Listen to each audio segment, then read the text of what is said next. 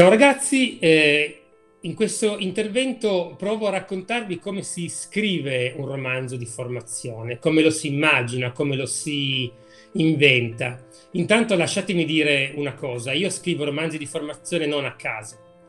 Eh, scrivo romanzi di formazione perché ho fatto l'educatore in una vita precedente, nel senso che prima di, di dedicarmi a tempo pieno alla, alla, alla letteratura, mi è capitato per dieci anni, per più di dieci anni, di occuparmi di disagio minorile. Ho lavorato come educatore di strada, ho lavorato in una comunità alloggio per minori. Quindi, visto che amavo scrivere, a un certo punto mi sono reso conto che le storie dei miei ragazzi, le storie dei ragazzi che io seguivo, potevano in qualche modo nutrire la mia, la mia letteratura, potevano nutrire il mio immaginario, potevano incendiarlo e da lì potevo partire per raccontare, inventare storie. Ciò che davvero conta nelle storie di formazione, più che il meccanicismo e il susseguirsi degli eventi e l'intensità dei personaggi che si costruiscono, la rotondità di questi personaggi, gli sguardi di questi personaggi. Io non credo che sarei mai stato in grado di mettere in scena dei preadolescenti o degli adolescenti così come mi sembra di riuscire a fare se non avessi fatto l'educatore per tanti anni, perché ovviamente è come dire, uno sguardo, no? un modo di eh, ragionare sul mondo, un modo di, di, pensare a se stessi e alla propria vita che uno deve conoscere non soltanto perché è stato ragazzo e tutti noi siamo stati, siamo stati ragazzi, ma anche perché ha continuato negli anni a frequentarli. Una volta che uno ha un buon personaggio, ha dei buoni personaggi, un buon gruppo di personaggi, a quel punto come si, come si crea una, una, storia? Questo vale un po' per tutte le storie, ma il romanzo di formazione, come vi dicevo anche prima, è un romanzo che in qualche modo attraversa i generi.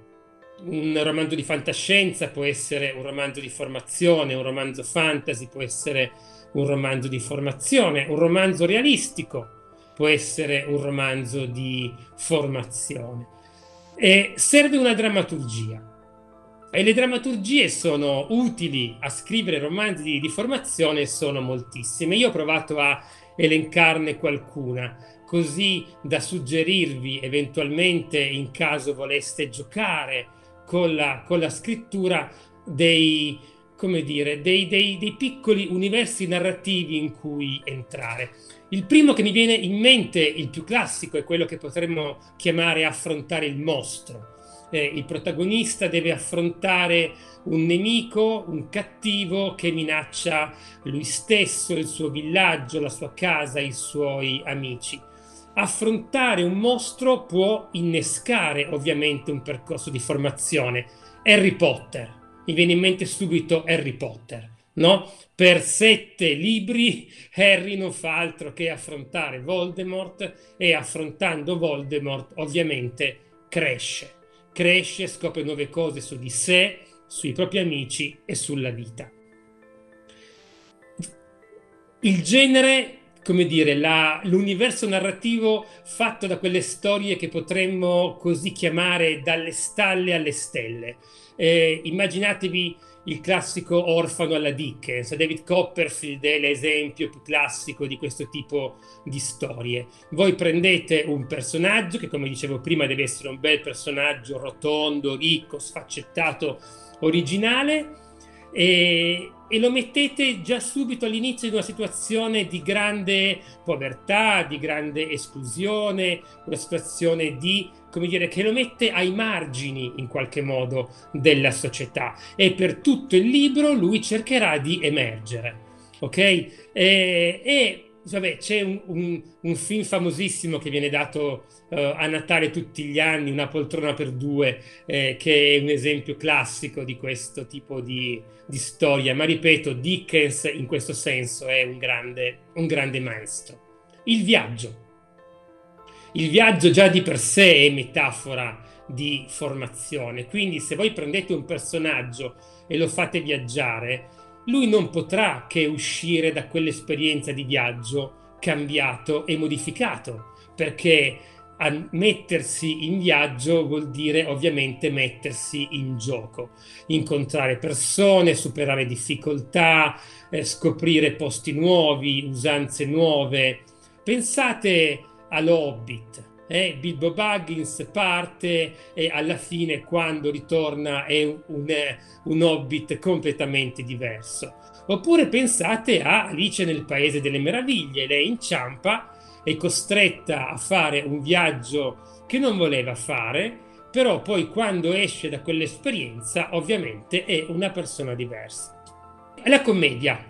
Eh, non, tutti, non tutti i romanzi di formazione devono per forza essere drammatici, devono per forza avere scontri, battaglie, sofferenza, eh, casini di ogni tipo, che ci può essere anche una, una, buona commedia. Ad esempio, la classica commedia degli equivoci, prendete di cui Shakespeare in questo caso era grande, grande maestro, molto rumore per nulla, è una sua commedia ed è una classica commedia degli equivoci. Voi prendete un gruppo di eh, amici, metteteli insieme in un campeggio, fate sì che mentre uno è in tenda sente qualcosa che viene detto fuori dalla tenda, lo fraintende, si scatenano una serie di equivoci e alla fine di quel putiferio relazionale ovviamente i personaggi ne escono con una maggiore, come al solito, consapevolezza di sé e di quello che gli altri magari pensano